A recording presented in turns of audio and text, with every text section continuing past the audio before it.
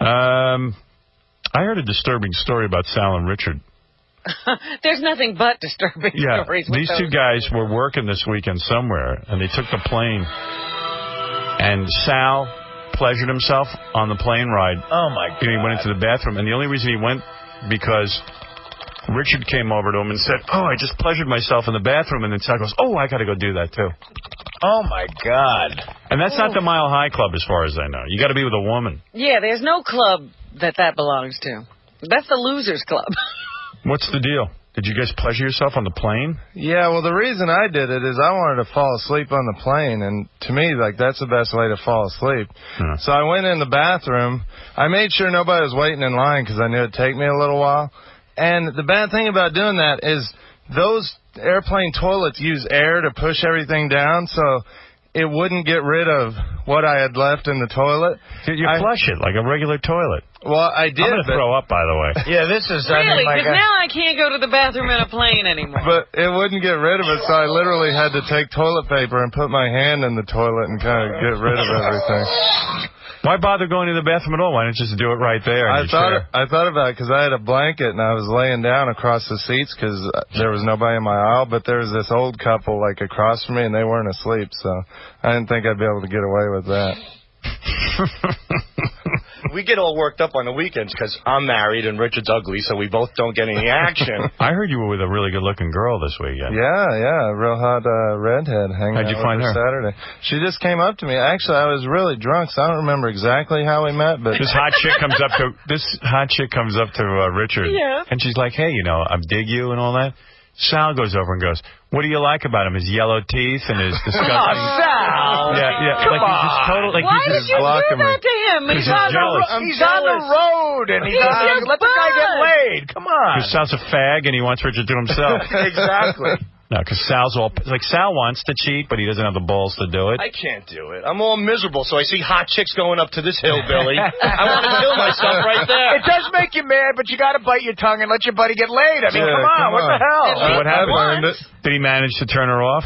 No. No, What, you no, we we ended up hanging. No, I didn't. I didn't hook up with her, but we like kissed and, and made out a little bit. And we to- Wow, you got the first base. You're a comedian on the road. You got the first base. You're 42 years old. Look at you. that's what Look at 13 you. That's what thirteen year olds brag about. All right. But no, I uh we all went to this club. Well, I went to this club with her, and I'm up in this VIP section. She knows the owner of this club. It's like a dance club, and we're hanging out up there and drinking. All of a sudden, Sal shows up with two uh large black women on his arm, and and he's laughing. He goes, "Hey, check out my bitches." Yeah, I heard about this. oh, my And Sal wants. What Sal are wants. to- they doing? Sal wants to get laid so bad. You know, Sal was at some comedy club and he calls. First of all, he gets these two girls to call Gary, and call him a dirty, filthy monkey on the phone. Wait a minute, they made called. sexual advances towards Gary on the phone. They said they wanted to lick his monkey, you know what, Oh, and everything my else. yeah, he, yeah, he, So this is on the weekend. Gary's getting 1:30 phone calls. 1.30 in the morning from Sal. I'm just about, eh, see, but it's no good with all the bleeps. I know. Eh, you know, you got to play this at satellite. This was Sal harassing Gary at 1.30 in the morning. Oh, Gary, I got a bunch of drunken, psychotic whores who love you. They want to suck your monkey. Here, here's the first one. Ready? Yeah, three. I want to lick your mouth and teeth and rub my all over you. Be out. Come on, don't be out. No Baba Booey. Come on, come on. Don't, don't want to hear you. Come on, Baba Booey, they love you. Wait, Gary, he told me to call you. Come on, say something real nice. I can't wait to see you so I can suck your and let you all over my big See, Gary? You see, Gary? You see what I do for you? Because I love you. Gary, I have a hot... So Hold on. here he's got, Sal oh, thinks he's doing Gary a favor because he's got these girls calling him at 1.30 in the morning telling him he wants to have his monkey, suck his monkey. Sal's just using that as a ruse. He just wanted to hear him talk dirty. I know. Those women wanted nothing to do with that phone call. We're in the middle of the street. They're with their husbands. And Sal sees these two black chicks and he goes, come here, my black bitches. and they dug it, I guess. Yeah, Gary well, says they dug it. I said, it, you know, Richard was upstairs with that girl, and she was sucking on his yellow teeth.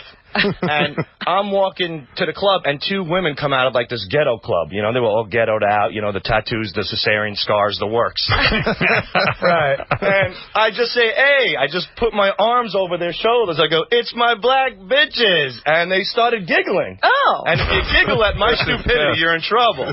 I thought they kicked your ass. yeah, I'm I like, said- he's taking a huge chance. That's a big leap. Yeah. You're quite the charmer. I can't get I can't get any action, so I just make fun of women because I can't do anything. So it nothing. If they So when you called them the black if they said they, F you, I would laugh just the same because that's not so like. then you brought them around with you all night? Well, I put my arms around him. No, and Rich is upstairs, so there was the after party after the comedy show. So that's where I was heading, and I happened to see the black girls. I put my arms around him, and when I said, "I go, you black bitches want to go to a VIP party?" so one of the girls goes, "For VIP, you can." I, can I say the word F at least or no? Yeah, F. She goes, "You can F my P and you can F my A." Oh. I go, wow, VIP I guess that is means yes. everything. Yeah. didn't even booze them up yet, you know. So I get upstairs, I got them around me. There's Richard talking to this broad, and I'm going up to the bouncer. I'm going up to anybody I can because they gave me the right to say black bitches. So I go, check out my black bitches, and they're saying hi to everybody. and I go up to a stranger, hey, look at my two black bitches. Then I get up to Richard and this girl. And I go, Rich, look at me. I got two black bitches. And the girl jumps out of her seat, pulls the girls away from me. She goes, how dare you let this guy demean you like this? He's disgusting. He's a scumbag. Have some respect for yourself. and I'm just standing there. I'm rocking back and forth because I'm drunk off my ass, and I'm thinking maybe a threesome's going to go down. And all of a sudden, these black bitches look at me like I am uh, like a Klansman, and they take off, and my party's over. That must be some VIP area with Sal and Oh, my Richard in the VIP They're the area. VIP. Uh, yeah, hey, we're gonna take you to the VIP party. What who's kind, in there? of, what kind of threesome did you think was going to go down? Listen, when you're delusional drunk and you're goes black bitches and they're laughing, you think anything can. I don't know what was Were they going on. hot? Like No, they were awful looking. They look like they look like the dancers of a Salt-N-Pepa video, you know? Like- the big earrings on, that white sweatpants with no thong underneath. you can see like the sweat and the crack in the back, you know. I mean, I- it, it was just a goof for me, you know. And then Richard's rapping with this Tawny Kitaen girl, and she's just read them the Miranda rights, whatever. And that's it. And then I end up sitting behind Richard by myself, babbling like a drunken fool. Oh, he and was he's furious after that. That was it. She was hot, huh? The chick he was with? She was she was very very impressive. Yeah. Wow. She was nice, yeah. Yeah. Did you tell her you pleasured yourself on the plane ride? no, I haven't talked to her. I needed to since get to sleep real bad. Did you get a number? Uh, yeah, I did actually. look yeah. And well, she called me while I Was was on my way to the hotel, and I was gonna try and stay up and, and wait for her because we were maybe gonna meet up at the hotel. But I was so drunk, I ended up passing out. Next thing I knew, Sal was banging on my door to get me up. So I don't know what happened. It just Richard got, didn't work out. Wait a minute. Richard got so drunk Friday night. We're walking down the street, and out of nowhere, he goes, "You know what? I just wish I was gay." I go, "What?" Uh-oh. yeah. I was like, I go, Rich, the cameras are off. Doug is not behind us. He goes, I don't care about that. I'm sick of these women. You know, they're such pain in the asses. They want you to spend money on them and take them out. And all I want is some sex. He goes, that's why. He goes, I'm not saying I'm gay. Goes, but it's such a convenience to be gay because guys Oh, they don't got ask made. anything from you. So I, Oh, I wouldn't dude. mind. I'm like, oh, Rich is scaring me. I You gotta might be half a fag. No, no. If I'm saying I wish I was gay, then I'm not you wish gay. you were gay. You know what a nightmare it is to be no, gay in this country? I, know, I know that, but I'm just saying that as you might get what you wish for. yeah, but like the thing is, like guys. Fred's gonna rape you right now just to give you a Come on, give you Fred. a taste of what it's like to be gay. Fred is pretty cute. Yeah. But no, the thing is, like, guys know what guys want. There's no run around. You go to a bar, you pick up a guy. You do? How do you know? He must have done this That easy, huh? From what I've heard, it's that. You know, easy, you go to a bar, you pick up a guy, you put him in your Chevy Impala, you take him home, you give him a Heineken. Some duct tape. Hey, you know the route. There's no fancy dinners involved. I think you were hoping uh, Sal would say, "Yeah, let's try it." Yeah, I was hoping. It he'd came out of know what you nowhere. We, we walked for 10 minutes of silence, so you know something was brewing in his head. Yeah. And that's what pops out. I wish I was gay. Oh, Buddies. I'm exaggerating a bit. When Yeah, I wish that. you were gay, Sal. Hey, I wish Sounds to me like a cum